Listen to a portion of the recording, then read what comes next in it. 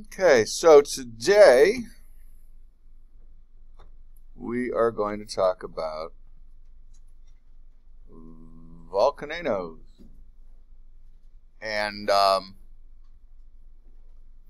there's a couple things we do with uh, when we talk about volcanoes. Uh, we talk about volcanoes, obviously, um, but we also have a, uh, a video that we watch about uh, Mount St. Helens and um, I bounce around as to which I do first. Um,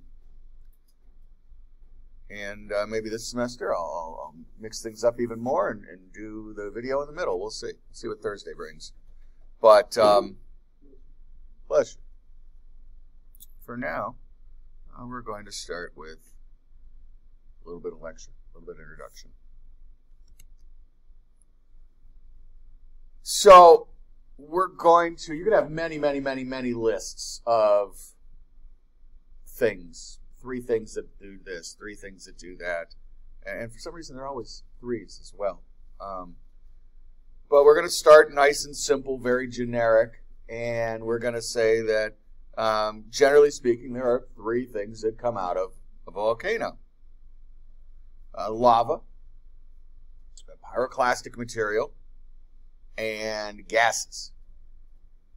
Now, we used to sort of play this as a, a, guessing game, for lack of a better word. I say, okay, tell me something that comes out of a volcano. And everyone would say lava. Um, some people, eventually, we'd get to ash, right? Uh, we'd hear smoke, uh, and maybe poison gas. And somebody might say, "Oh, those big hunks of flaming rock that I see in the in the Hollywood movies." And all of those things fit into these three categories. Lava is, well, lava.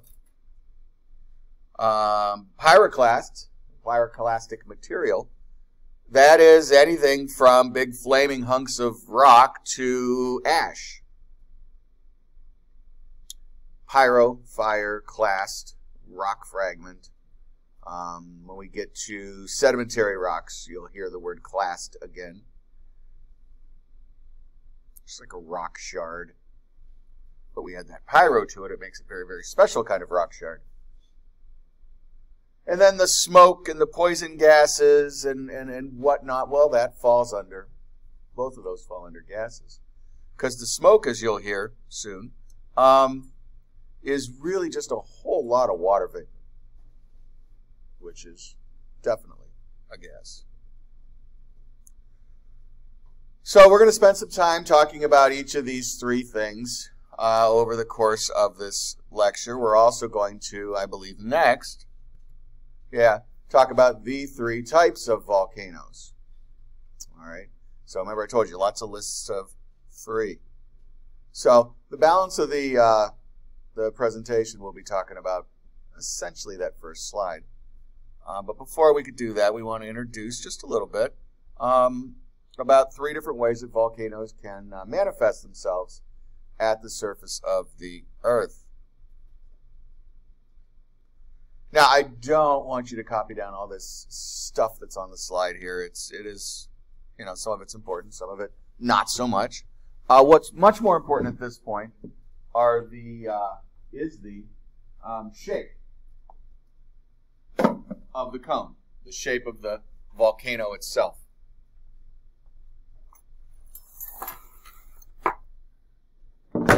Embedded in that, along with that, we want to look at those scale bars because these are not to scale in this drawing. Not to scale at all. Because it would have you think that uh, without looking at the numbers that the top one is the smallest, right? And uh, the bottom one is, is arguably the largest. Tough call, but that one in the middle looks a little smaller, I think. All right. But if you actually look at the scale bar, we go from the biggest, the smallest drawing is actually the biggest, upwards of 10 kilometers high. Sorry, it's in metric. Down to the smallest, which they put in the middle. And then the bottom one, who has the biggest picture, is doesn't even approach half the size of the top one. Arguably, uh, it spends a lot of time being about a third of the size. So why did they put them in this order? Well, because the last one is a combination of the two. So they have to talk about that one last, but they could have done a little more to, to, to work on the scaling here. So our three types of volcanoes, our three types of cones that we're going to talk about are shield, as you know, like a Roman shield or a Viking shield, a cinder with a C, and then composite.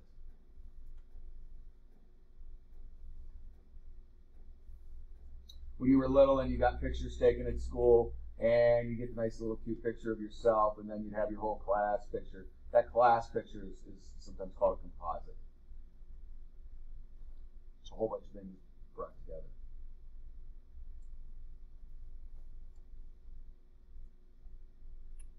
So, uh, as I said, the uh, top one here, this shield volcano, um, is the biggest of these guys. These are your volcanic islands for the most part. Uh, anyone had the opportunity to go to Hawaii? Here? Yeah? Super high impressive mountains? A little bit, yeah? Okay. Um, you know, there's some. Okay, people look at it and they say, oh, wow, you know, where's the volcano? Well, you're on the volcano. I've not been there myself. I, I simply get to talk about it. Um, but uh, I've seen pictures, right? Uh, so it, it's not necessarily one of those peaks or one of those mountains that's a volcano. It certainly may have eruptive activity, but the whole island is the volcano, and that's the part that, that folks sometimes miss.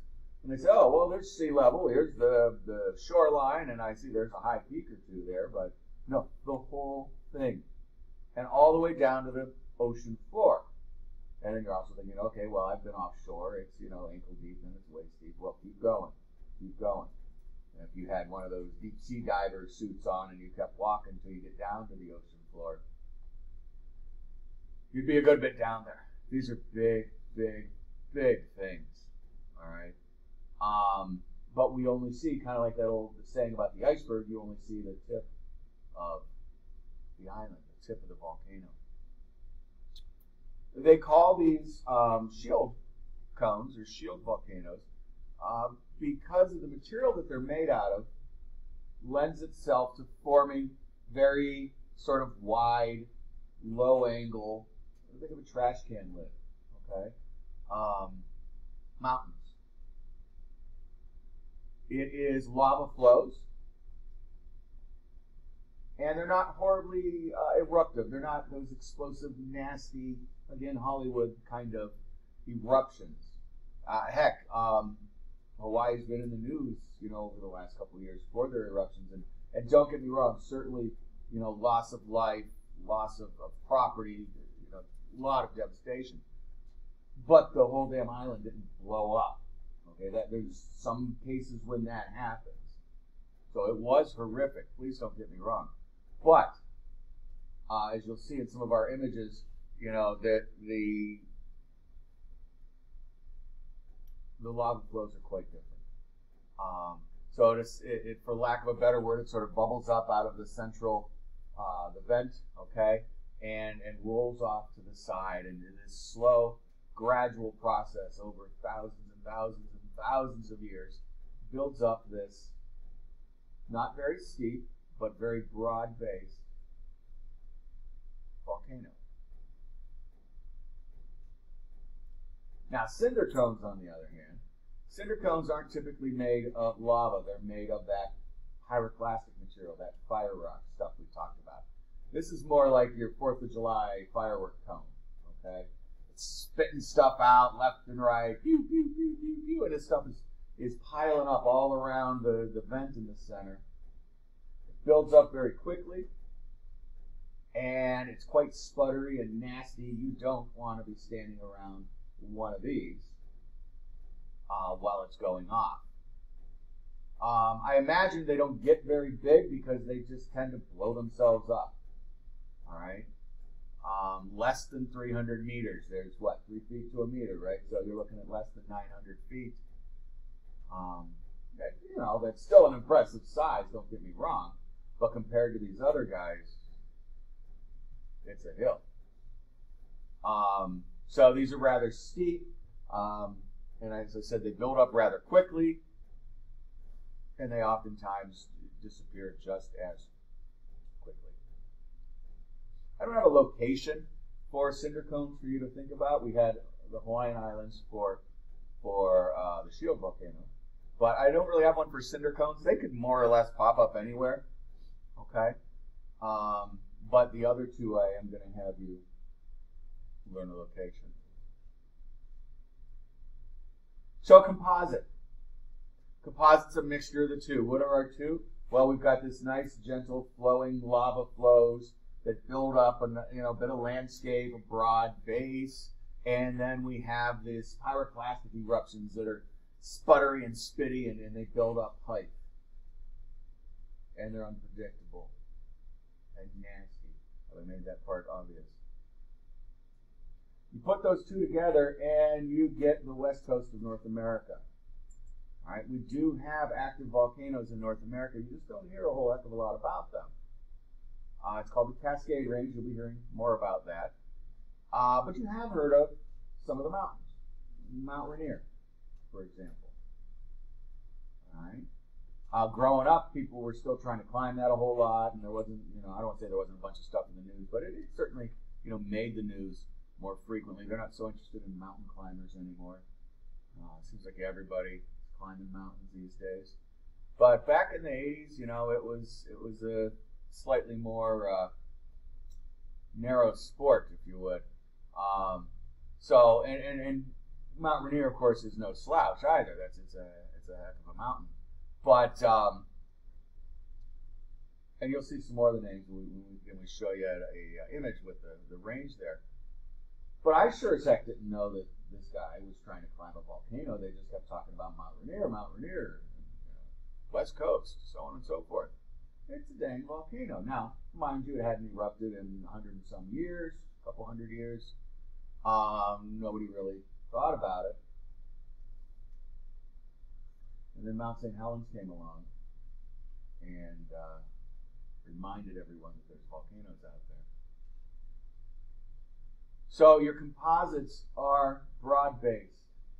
They're unpredictable because you don't they don't exactly alternate. It's not like it goes lava, pyroclast, lava, pyroclast, lava, pyroclast. But you don't you don't really know what you're going to get. They're studying that kind of stuff to try and predict it. Okay, but it's it's a mixture, and and due to those two properties there between the lava and the pyroclast, it builds up a rather impressive structure. Rather impressive structure. These start on land.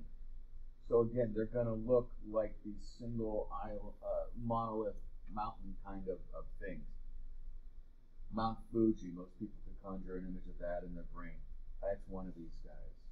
Okay, all these famous mounts that you've heard of, Vesuvius and so on and so forth, that's these guys. Okay? Because they're there in the middle of civilizations. We tend to build up our societies around them. Why? Well, because they have good soil. All right? Uh, all those nutrients we just got done learning about minerals, and you know that igneous rocks are made out of minerals and they're made out of elements. Soil's amazing. And they don't, you know, in a handful of lifetimes, typically, they don't erupt that frequently. So we tend to build up around them. Kind of like living, you know, down by the river because it was great for transportation and again good for soil. But it did flood. You know, we had to weigh these things out when we were setting up our civilizations. Anywho, so we've got three types of volcanoes shield cone, cinder cone, composite cone. We've got locations for two of them. We've got the Hawaiian Islands for shield cones. We've got, at the very least, the uh, west coast of North America for the composites, and then I rattled off a handful of others. You'll see some maps a little later. You'll, you'll, you'll recognize some names. Kilimanjaro, there's another one. Uh, we told you that the shield volcanoes are primarily uh, lavas, and we told you that cinders are pyroclastic material, and that the composites are a mixture of the both of those. I got one last thing that I want you to remember out of this slide. Lots of test questions out of this slide.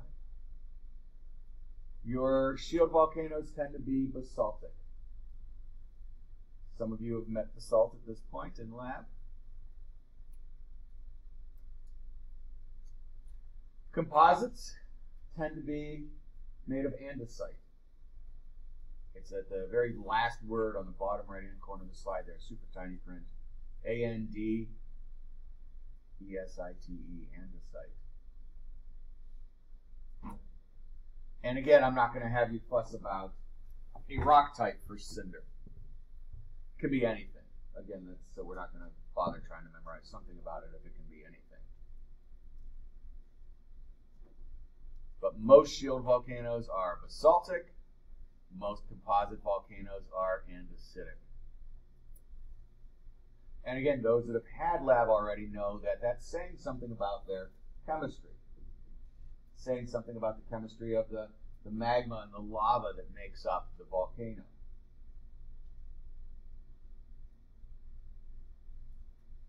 All right, questions about the three types. Don't worry about um, angles of incline. Don't worry about ele uh, elevation, altitude, whatever you want to call it, height. Okay, but do remember, you know, who's the biggest and who's the the normalist, the smallest, so on and so forth. Question. Okay. Awesome. Lava. Pretty, isn't it? Um, has a photo credit, but it doesn't tell us where it is. Those of you that had lab yesterday, that's black. What is it probably? Ah, that'd be cool. Uh, but no, what's the other black fine grained lava that we saw? Basalt. Yeah, that's basalt, okay?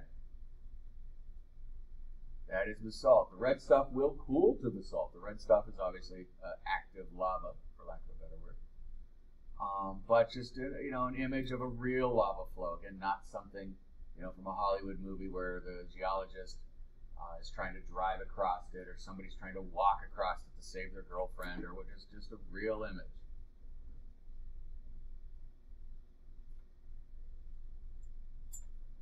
Now, speaking of unreal for a moment, I've been I've been using this slide forever. And one semester, I don't even know how long ago it was right now. Somebody asked me about those two trees right there, and of course they're you know I've I've seen them, but I never really pondered it. They're like, how are those trees still there? And and I, that's a great question. They don't look very healthy, do they? Uh, but nonetheless, they are not totally burnt up either. Uh, I, I, grew up watching Bugs Bunny, and, and, one of the old gags in Bugs Bunny when somebody would get themselves blown up is that you know whoever would walk over and either touch them or go, and they would just go to cinder, you know, right straight to ashes. That could very likely be the case with these guys. Um, but but more than likely, what happened, you know, little by little, I don't say it's off to the side, but the, the image can suggest that it's at least up a little higher on a hill. That um, you know the lava when it first hit it, it just wasn't that that hot. It is lava, but relatively speaking, it wasn't that hot. And um, they sort of just got surrounded by some lava before they, you know, had an opportunity to get hit by something really, really hot. Um, so you know, some cooler lava hit them first, sort of encased the base of them, for lack of a better word. I don't, I don't know. I'm just making up a story, but that is a uh, possibly why this the person even took this picture I doubt D.A. Swanson's still around, but uh, ask him one of these days, maybe. So, lava. Again, going back to our discussion about igneous rocks.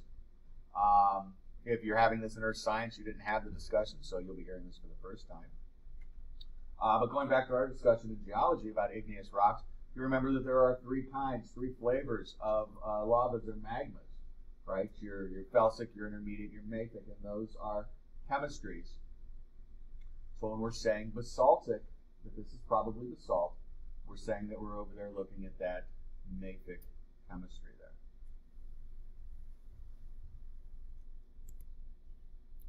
Now, this one does not cross over into lab class. In, in lab, we worry about what's granite and what's basalt and so on and so forth. But what's great about these next two slides is that it reminds us, it reminds me even, that um, even within those, those rock names that we're learning, there are variations. How do you guys, how would you pronounce this word? What? I didn't hear you. Say it out loud. Pahoho. Pahoho. That's exactly what it looks like, right? And that's exactly what I said for probably 15 years. And then I was shown a video one day, and they had this uh, scientist person there, and they were in Hawaii talking about Hawaiian lava flows, and he said "pahoehoe," and I'm like, "Oh." Now, mind you, that sounds possibly, if if possible, that sounds sillier, but um, yeah, it's probably right. So hoy um, and uh, what that supposedly translates to is thin and ropey. Okay. Um, what we're looking at here in the uh, the background of this image is how the top of this lava flow is all kind of gnarled up. Looks like old roots, right? Um, so this is a rather fluid lava. Uh, your book is going to talk about uh, viscosity, right? I'll, I'll, I'll, go into that word in a moment or two. But um, this is a very fluid lava, and uh, so it's, it's very runny. Think about uh, maple syrup, okay? Um, and you'll see a comparison in a, in a moment. So the top surface, which is exposed to the air, the atmosphere, it cools off rather quickly. That uh, red glow goes away, turns into the sort of starting to look like the rock stuff. Um, but underneath, it's still warm, it's still flowing. So as the top sort of dries and the bottom is still flowing, it makes that cool pattern at the surface. By contrast, we've got ah And uh, this is what I was talking about earlier. And uh, it's again, I've been given this conversation for a long, long, long time. And then a whole bunch of people got killed last year in Hawaii. Um, but do those guys look concerned? Not really, huh? Uh, in fact, the third guy ran to the truck to get the marshmallows. Okay, um, that lava flow isn't going anywhere anytime soon. Um, those plants obviously in trouble. Uh, if somebody's house is, you know, behind these guys, it's they're going to want to remove their possessions. But otherwise, you know, this is what I mean about it. It's a, a nice, gentle sort of flow. Uh, did you guys, when you went to Hawaii, did you guys do any of those helicopter tours? Did they drop you down on the fields? Or My parents did, but I didn't. Okay. I went into like the lava fields that were already dried up. Okay. Yeah, I mean, not the safest place for a kid, but they do allow it, you know. So, and that's the thing they they would not let you do that stuff. I'm sure there's waivers to be signed. Don't get me wrong, but they wouldn't have these helicopter rides where they drop you down or even fly you over these things if if they were concerned about the eruptive nature, so to speak. I went to like the opening of one. Yeah. I actually saw it. Like uh, I don't know if I seen the lava, but you could see the. How old were you? Uh, I think it was like 14. Oh, then you should definitely remember. Yeah. Yeah. So you didn't know if it was a what or a what? What was it? You didn't know if you were looking at the. You started saying I interrupted you. Oh, I was looking at like the opening of a volcano, but um, I don't know if it was the opening per se, but it was like where the lava had like reached the surface. Oh wow, cool. And I, I couldn't. I don't think I saw the lava, but I saw the glow with it. You know. like, Okay. it was Oh, it was down deep, but you couldn't really. You didn't want to like hang over the edge and look at it. Oh, they had a railing like there. they wasn't allowing me Yeah, that. yeah. So, uh-uh. At any rate, um, this is much more. I, I gave you an example of say maple syrup for that for the pahoehoe. This is much more like oatmeal. Okay, big thick oat stuff. Um, and my point is, is that these are both basalts. Okay, they're still basalt, And in lab, you've got one hunk of basalt that you look at. And that is what you leave this class thinking that basalt looks like. And for the most part, that's absolutely true. But don't you think if it if it's dried, solidified, and I don't know, I'm going to just go back for a minute. I intended to put pictures of rock coming up, and I don't remember if I did. But don't you think all that stuff would look different when it dries into a rock than, say, this stuff does, than, say, the one we've got in lab class? You know, just just to use the word, you know, texturally, okay, you're going to see patterns, different stuff. Um, so, again, just the point is, is that you know, on Hawaii, and I'm sure there's other gradations that they recognize. And this is just two that textbooks have have uh, gleaned onto over the years, Pahoehoe and A'a. Uh, I'm sure there's way more variations, right? Uh, and my, my point is, again, is that just you know that that uniform hunk of, of fine grained black rock that we see is really just sort of a stereotype, a, a snapshot of, of what basalt can be.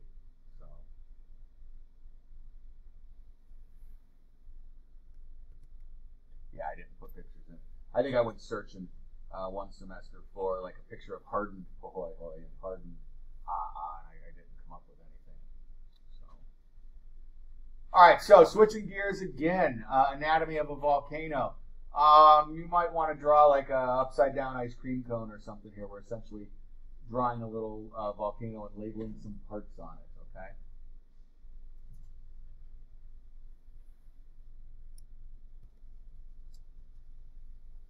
So, hold on, let me look. I thought I had a drawing here. I do not have a drawing here. Weird.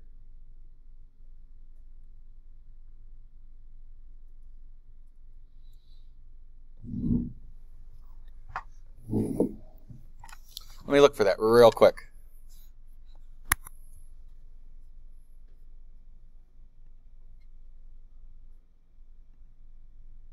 I'd swear I added a.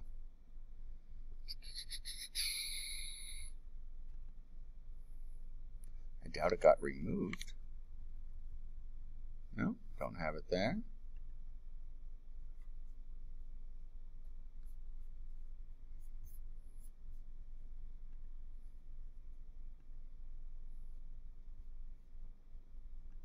Bear with me.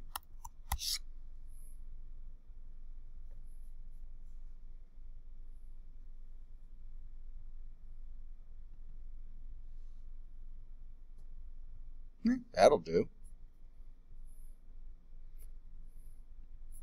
All right, so I'm going to search for a better one, but this will work for the moment.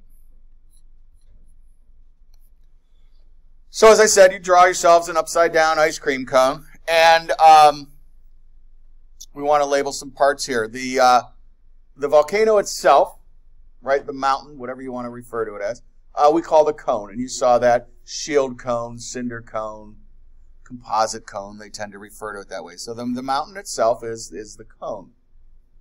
Uh, down the center, we're going to have the uh, vent or the vent pipe. Now, as he inadvertently implied a couple minutes ago, there can be several outlets on any given volcano. Again, these things are, you know, huge. Okay? Uh, especially when you're looking at the uh, shield ones, uh, when you're looking at an entire island. Um, but in our, you know, for educational purposes, kind of drawing here, uh, we're just going to have a single mountain with a single vent pipe, okay? Uh, that vent pipe goes down underneath the volcano to a source of all that magma. All right, we're just going to call that quite simply a magma chamber. So you're going to draw a little pool. We don't have one here, kind of drawing Peters out right before there, but just draw sort of like a, a little thought bubble down there, a little pool, uh, and that's our magma chamber. So the magma chamber is filled with magma. It has a vent that leads up, and that vent leads all the way up to the tippy top of the volcano.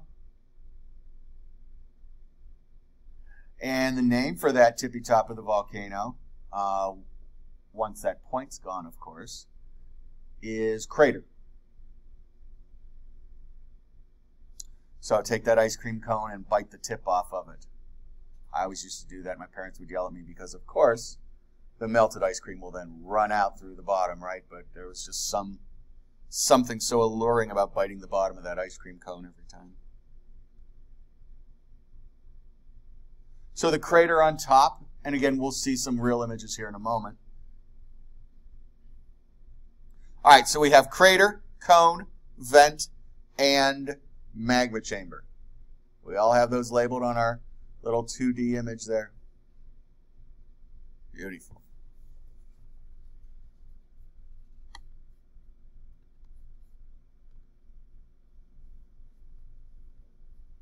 Find my PowerPoint again. There we go.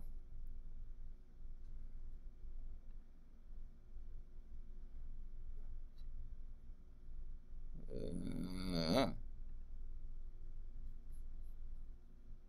there's the button I'm looking for. All right. Oh, now we're in this mode. Okay. So, um,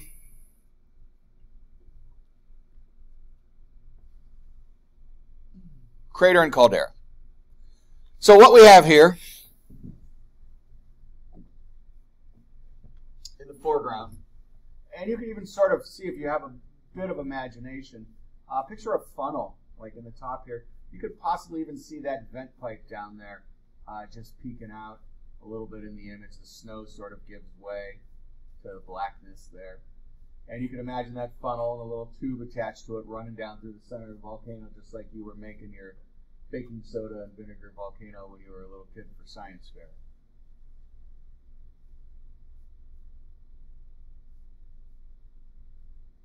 Yes, sometimes these are filled with bubbling, boiling, molten rock, and they throw rings or virgins or whatever over the side into them, and all those things. Again, Hollywood has taught us. Uh, but more often than not, they look exactly like this.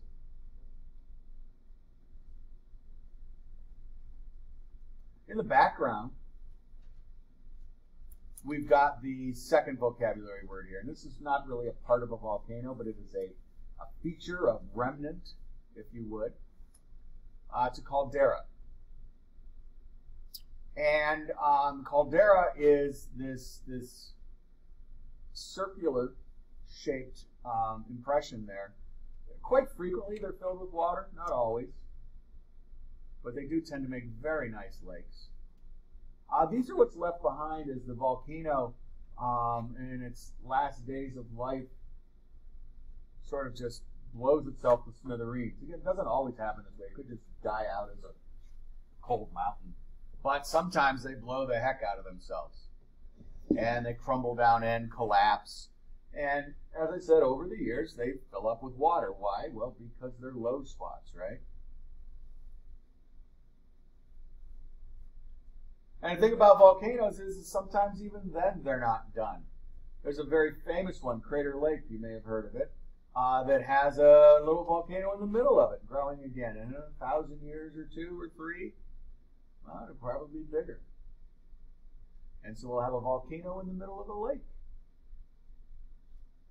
A big, impressive volcano. We already have a tiny little volcano in the middle of the lake. So, caldera is a collapsed volcano. And again, in the image here, we have a crater. Now, case in point, it's kind of hard to judge scale on this map, um, on this image. You look off to the left there, and you do see some features. It looked fairly far off, and, and it's really tough to tell, again, you know, how far away that caldera is from this cone. But more than likely, these guys are sharing the same magma chamber. Okay, they're just they're close enough where they're probably two manifestations of the same thing. Um, so again, the one in the background probably was there first, blew itself to smithereens, and instead of growing back up uh, in the lake itself, as I described to you, well, this one, you know, came out, we'll just say a mile or so away. Uh, it popped up somewhere else. It was probably easier just to weasel through over there. Um, cracks in the earth or whatever. It was easier for it to come to the surface over here. But more than likely, as we said, the same source. Because you think about it, we don't really talk about it in here. But you know, how do you get that magma chamber in the first place? That had to have some sort of feeder to it, right? Um, and uh, you know, Lord only knows how long it takes for that magma chamber to fill up. But you know, it does its run of things. It empties and it blows up. You know, like I said, the, the volcano over it could blow up or it could just die out. But sometime in the future, through that very same you know network that fed it in the first place, it certainly can get start getting filled up again. So, uh, you know, we tend to see volcanoes repeatedly in the same areas. But they're on a much different scale than we are, right? It's just, you know, Mother Nature's not concerned with decades and even centuries, oftentimes. All right, so we talked about the Cascade Range. We're looking here at the west coast of North America. You see California on the bottom there, Oregon above it. If you're like me, your geography is not so great, perhaps. So Oregon is above California. Then it goes to Washington State. Then we have the Canadian border. You got British Columbia up there. So this chain runs all the way down the west coast there. Uh, California is not really known for their volcanoes. What are they known more so for? Earthquakes, yeah. All right. So a little further down here, this whatever thing is going on changes a little bit and it manifests um, as earthquakes as opposed to uh, volcanic activity.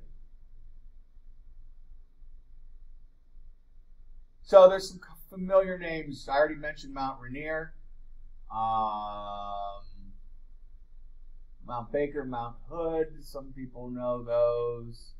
Uh, Crater Lake, there in Oregon. That's a big caldera at the top of, still at the top of a mountain. Mount Shasta.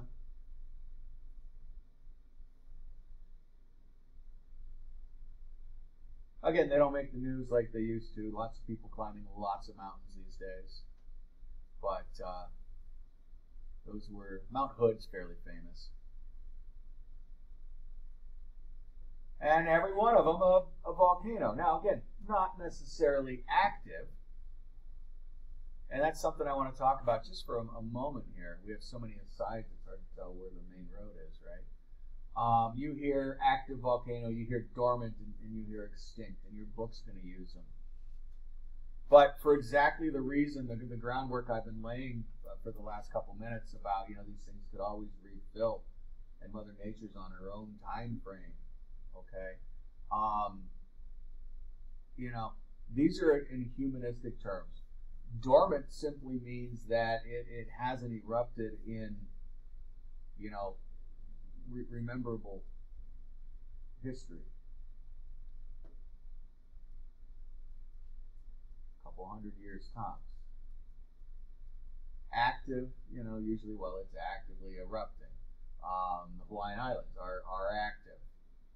Uh, Iceland, by the way, Iceland is a volcano. Iceland doesn't have volcanoes Iceland is a volcano. All right, active. A handful of others. It's a fairly regular basis. But extinct. Extinct's a big word, right? Especially, you know, with species, we know that what it means for sure. But to put that stamp on a volcano, I, I, I hesitate, you know, and, and not that I'm a volcanologist, I have any say over anything I'm just saying, knowing, understanding what I do understand, you know, unless it looks like you're going to see some images of, of uh, volcano remnants in a minute or two. Um, you know, I, I, really wouldn't put that, that word on it. Uh, heck, it blows itself up to smithereens, collapses down into a big hole filled up with water, and it can still grow another volcano in the middle of it. Uh, that's kind of what I'm saying. So I don't use those terms very often, but you can't escape them when you're talking about volcanoes. So I just wanted to take a moment and address them. You will not see those as three vocabulary questions, for example, on the test.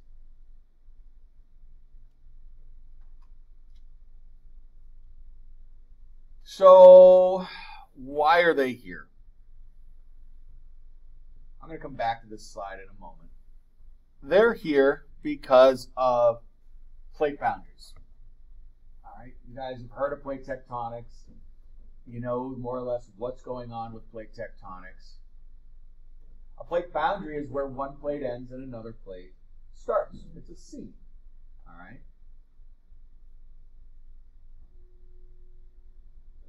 This picture shows us obviously something called the ring of fire. Well, based on this image, it looks more of like a horseshoe, but we'll assume there's something down along the bottom there. The Ring of Fire is the most volcanically active area in the world. It goes around the Pacific Ocean. We'll throw earthquakes in there too, most volcanically and earthquakeably active, but it's a conversation about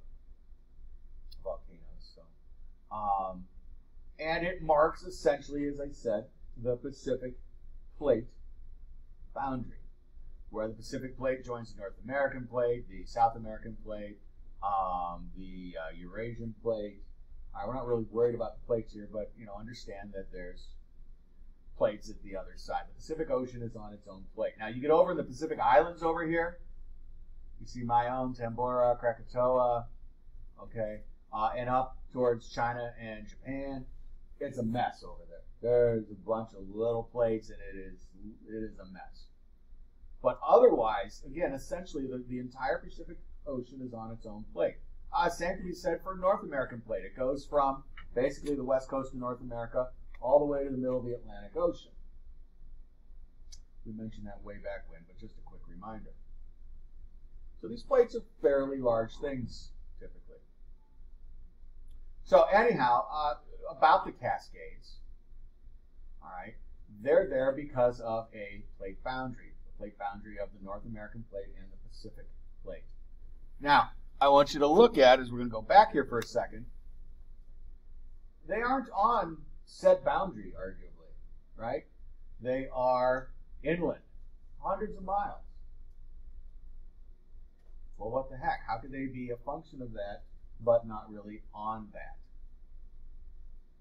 Well, so this type of plate boundary is, uh, and I want you to write this word down, it's important, uh, subduction zone.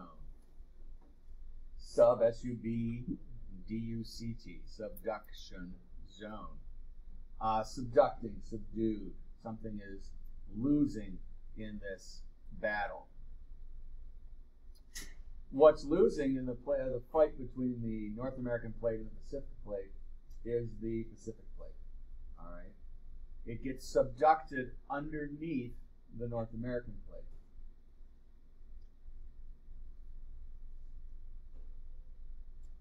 Now, you folks at home are going to miss out on my awesome hand gestures here, but I'm going to show the folks here. I'm bringing my two hands together, like two plates meeting, right? And the one on would be your guys is right in the, in the, out there. It's my left hand, but you're right. It goes underneath, right? So at this point, my fingers from my right hand, for you folks at home, on my left hand, sorry, are touching the knuckle uh, of my other hand, and my fingers from that hand are wiggling under the palm of my other hand. So you see where those fingers end? That's a good bit into that plate, isn't it? These things are not on the boundary. It's way down deep where that plate finally starts melting and, and, and deep down inside the earth, that stuff bubbles back up. It bubbles back up through the earth. So we see these guys inland. All right. Now let's add to that something else uh, in college, I was a fry cook, right? Um, so one of the things that you do, you've got your cool grill, and that's, you know, everyone loves doing the grill work, but you got that stupid fryer you got to deal with. Well, with fryers, you learn really quickly you don't want to put water anywhere near them. Boiling oil and, and, and water, not good. Hopefully, you learn that in fire safety somewhere along the lines as well. You can, if you've got a grease fire, you don't throw water on it, right? Well, it's also, uh, believe it or not, and they don't say don't throw ice cubes on a fire because nobody would do that, but it's actually worse if you have ice and, and hot oil because it goes from a different state of matter. There's a lot more energy in there and it, it bubbles and crackles. And again, if you've ever worked a fryer, you know what I'm talking about. You take something right out of the freezer, all full of ice crystals, and you throw it in there, it bubbles like crazy. All that's going on. You're at the ocean. So down with that plate and all that molten rock, you've got a hell of a lot of water coming down. Okay? And all that water is mixing in with this magma. There's actually another I talk about these handful of things that are for that are semesters on their own. Okay, aqueous geochemistry is the name of that one, and I, I ran screaming for I did not want to take aqueous geochemistry. But they spend 14 weeks talking about how adding water into that molten magma changes stuff. And I'm sure if you care about that stuff, it's really neat. Okay, but I I figured out enough of it again from working the fryer that yeah, it's going to make things a mess. So again, not only do we have extra magma down there because that plate is melting, okay, but we've got all this water going straight to the, the gaseous stage, filling it up with all this churning and bubbling and everything. And it's no wonder that stuff bubbles up at the back up into the continent, okay? So again, the reason it's inland is because this is a slope of the, the oceanic plate going down. It takes a while for it to get hot enough to melt. Uh, you've got all that water mixing in, and it just it doesn't happen on the border. We do see on some other places on plate boundaries, we certainly see activity right at the boundary. Uh, if you're familiar with the Aleutian Islands, you go from that spit of land between um, uh, Alaska and Russia okay, uh, where there was the land bridge. Everyone knows about the land bridge when the water level was lower. Um, that is right on a plate boundary as well, okay.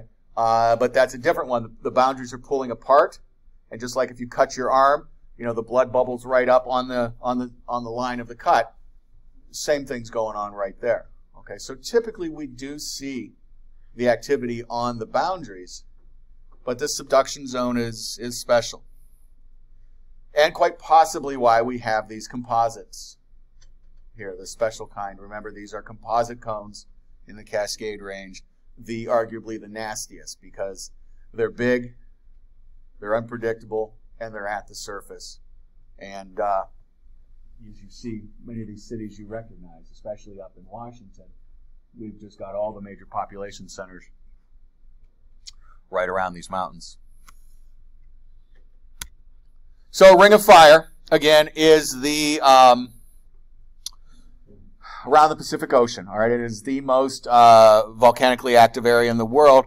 Um, and the Cascade Range is just one part of that. The second most active part is all the way over here, and it doesn't really. Where's my mouse? Can you guys see my mouse? There he's down there. Okay. All right, so at least on the projector screen, I don't still don't see it on my laptop, but over here the Mediterranean, right?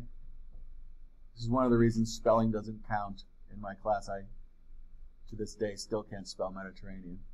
But uh, over here, we've got all of those um, village obliterating volcanoes of, of lore. If you read you know, your mythologies and whatnot, and you've heard of Vesuvius, Pompeii, Etna, all that stuff is over there.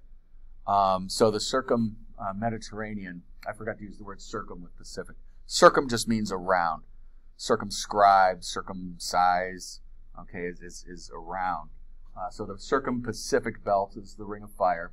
The circum-Mediterranean belt, that's our second most active area and again, it's just about as big a mess as we have over um, at the uh, end of Asia there, with all those little tiny plates and together. Um, so we see Vesuvius, Etna, oh Thera. Yeah, I forgot about Thera. And again, all of these ones that you've even vaguely heard of, these are these tend to be your composites. These are the big mountains that people paint, that people climb, um, that we, you know, worship and, and so on and so forth, depending on where you are in culture and history. Uh, what else we got here? We got Kilimanjaro. You've heard of Kilimanjaro. Krakatoa. Fuji, Fuji, Mount Fuji or Fujiyama. Uh, Pinatubo. Probably haven't heard of Tambora on my own. Um, Mount Pelée. Okay. In the Caribbean. And then up in the very top corner, you've got you've got Iceland. Now, of course, they've named their active peaks, but again, Iceland is essentially a volcano itself. There's volcanoes on, Antarctica. You see one poking out down at the bottom there. So, questions about Ring of Fire and or um, why we have volcanoes where we have volcanoes. We're going to touch on that a little later again, but for the time being. Okay.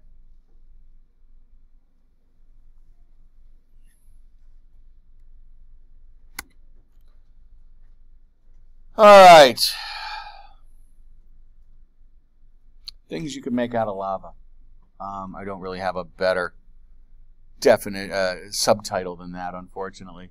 Um, but these are these next handful of slides are essentially lava features, all right, things that we see uh, in the rock record that are there because there were eruptions in the past. This one's great. Um, Columbia flood basalts. There are lots of flood basalts around the world. This one just happens to be in North America. Um, but they're all over the place. If uh, they tend to call them traps as well. If you studied uh, dinosaurs at all, especially like the demise of the dinosaurs, you may have heard of the Deccan traps. That was a huge um, eruption over in, in Asia uh, around the time that the uh, dinosaurs were dying out, and they were trying to pin for a while um, that on uh, the, um, the, you know the dinos dying out. So there's there's there's this happens. It is a thing. Um, as it turns out, you don't always build volcanoes, big pointy mountains, uh, when the earth cracks open. Sometimes it just bleeds, and um, that's what I want you to picture here with these flood basalts. Okay, it's a big crack in the earth, which again is supposed to have a slide, um, but it doesn't. Called fissure eruption. Fissure, F-I-S-S-U-R-E fissure eruption. It's just again a crack that just lava comes out of. It doesn't always have to build mountains. So what you've been staring at while I've been babbling here for the last couple minutes is all lava, except for the water and the trees, of course. So from the very bottom of that waterfall and lower that you can't see, all the way up and into the background and into those hills in the background. That's all lava. And as you can imagine, that took a very, very, very long time. Now, as it turns out, lava is one of the best things to date uh, when it comes to like attaching, you know, doing that um, radioactive uh, decay dating kind of thing that they like to do. Lava is amazing because it, it it forms, it cools, it's done, and you get a date. Okay. Um, some other rocks not so great. So I, I, don't remember the dates on this, but they they can date it, so they know how long it took for this to form. And then you got to think about then all the carving back down through it again, how long that could have taken. That's a little harder to date. But at any rate, all of this lava. Now, add to that that this is covering uh, the better part of uh, three or four states. Just monstrous. Okay? And it was a period of time, you know, that you probably wouldn't have wanted to be out around in Colorado and New Mexico and all of that. It was it was messy. And it just flowed and flowed and flowed. And what kind of rock did it make? Basalt. Good. Flood basalts, all right?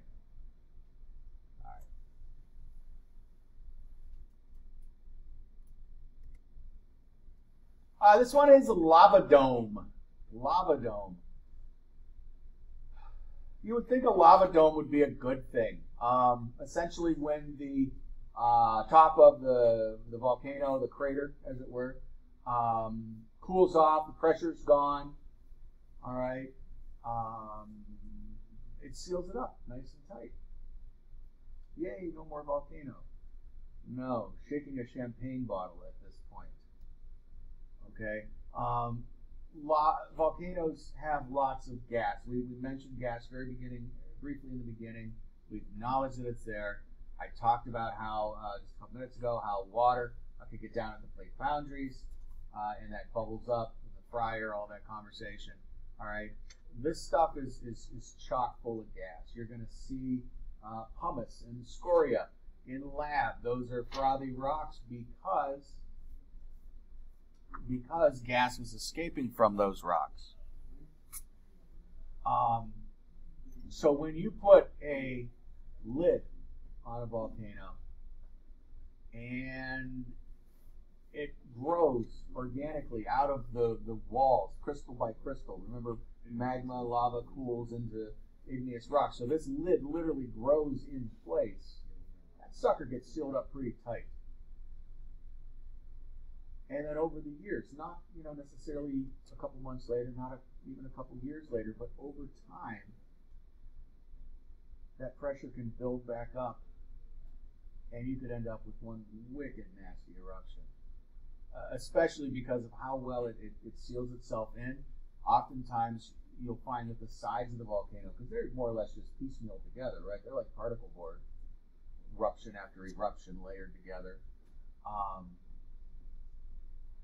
that ends up being a weak spot, or weaker than the top at any rate. And that blows out, and then you get a like a directional explosion, which can be pretty bad. Or at the very least, the whole dang thing collapses down that way. And, and, and think about how close we put our cities to these things. I'm going to reference Lava Dome a little later when we get to uh, much closer to the end of the PowerPoint. These also have another nasty side effect.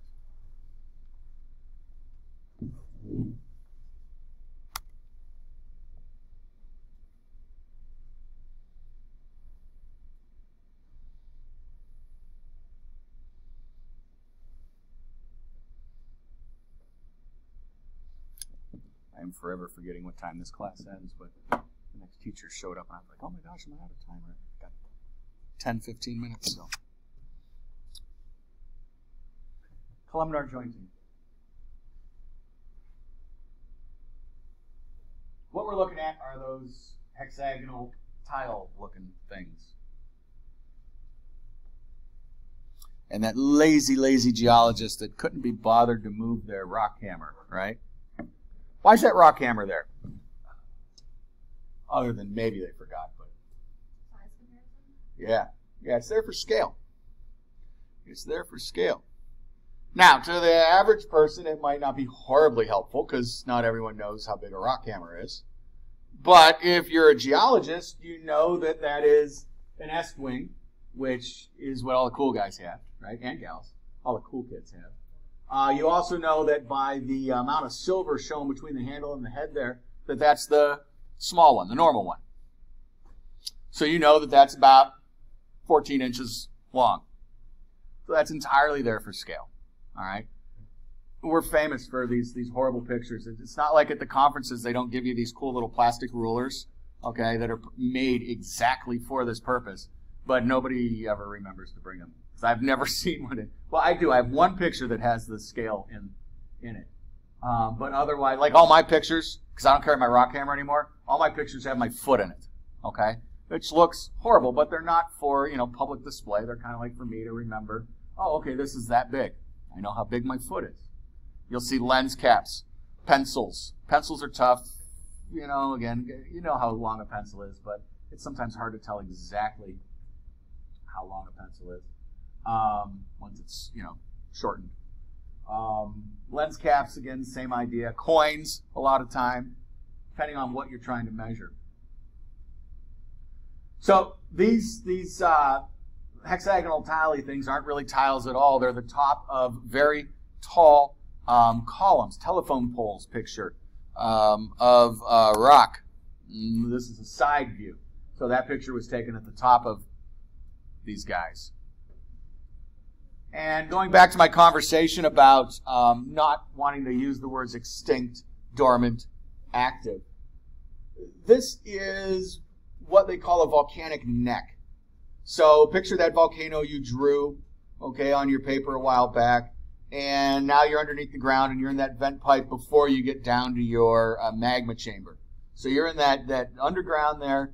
You got this this this vent pipe, okay, and you drew, of course, because you had a tiny little picture, you drew a vent pipe that probably looked like a straw. Well, this is a realer life vent pipe. They're not just little water pipes, okay? They're monstrous. They can be, at any rate.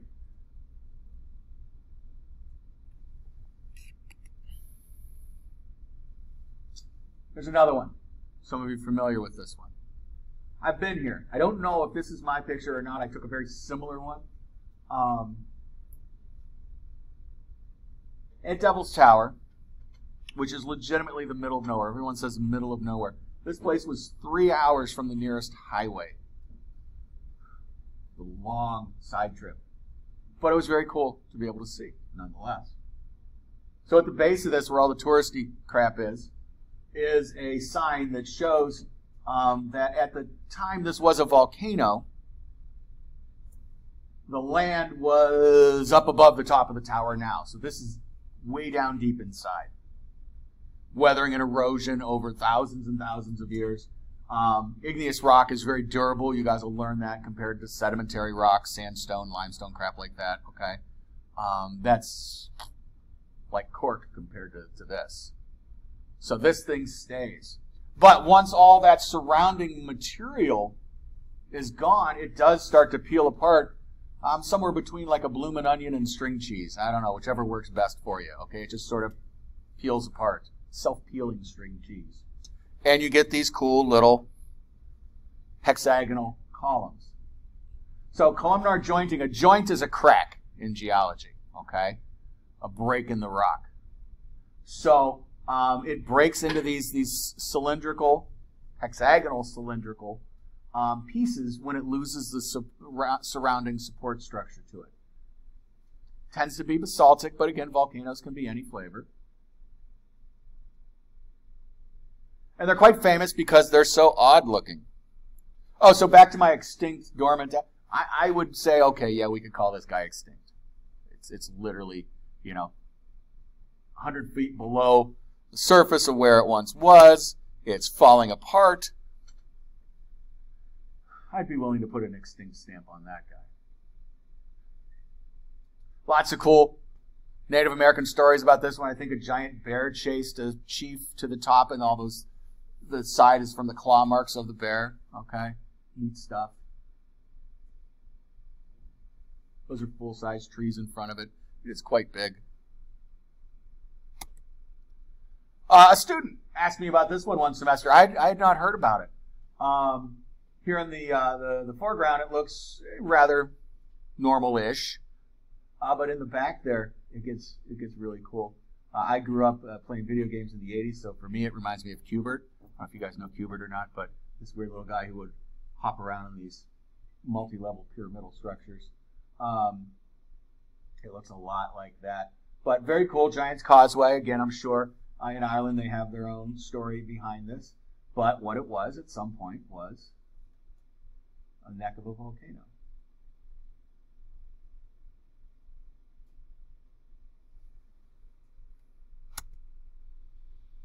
All right, so done with columnar jointing, and we're on to lava tubes. Lava tubes. People aren't the best gauge for scale. Well, I mean, we could assume that's an average sized person. But again, people aren't really that helpful. Um, it could be a tourist in the way. It could be, you know, another geologist. They are wearing those awesome 80s geology boots. Uh, but again, they sold them at Kmart's too, so you never know. Um, so that person is standing in a lava tube and staring at the wall. And that wall is a great example of technology and knowledge. Uh, we've talked about how all uh, through astronomy we look up at a star, we call it a star, and then somebody builds a better telescope and we realize, oh my gosh, that's two stars. Okay. Uh, and then, you know, 100 years later, we realize there's actually three stars there. So we change. So I, again, have been using this slide. My volcano presentation is probably one of my oldest, unchanged. Um, so I've been using this since the days of overhead projectors. Okay. And um, so I always talked about this line and how uh, lava tubes are, they have to be formed underwater. Okay. It's just the way they work. Um, so what we're seeing here is probably some indication of, of tide uh, because, you know, you're worn away. We, we see this weathering and erosion in the tube, blah, blah, blah, blah, blah, blah, blah.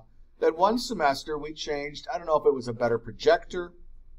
It was in the digital era, I can tell you that.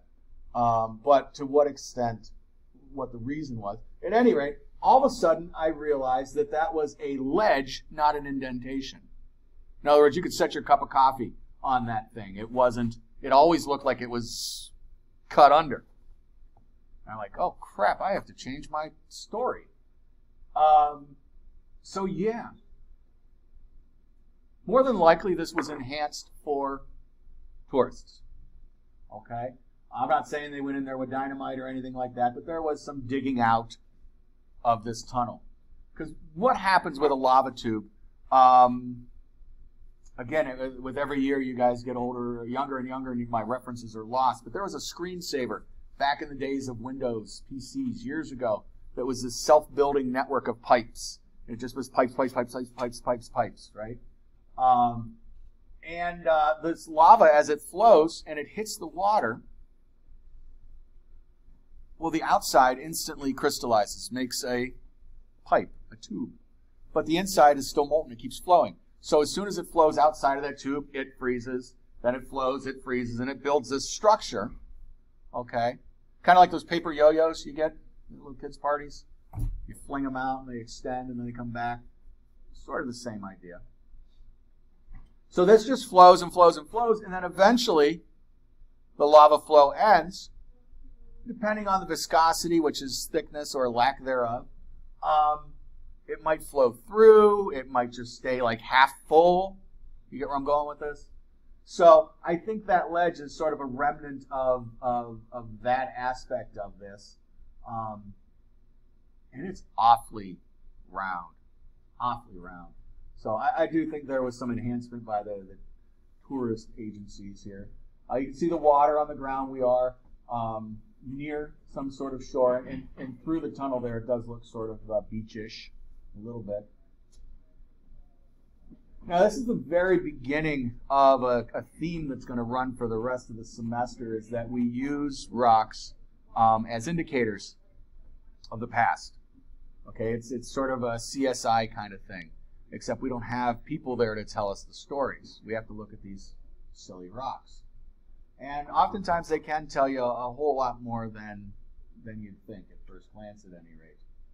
Um, because we know that really this is the only way you could form a lava tube. If this is halfway up a mountain right now, it, it probably isn't. But if it were, you would know one thing.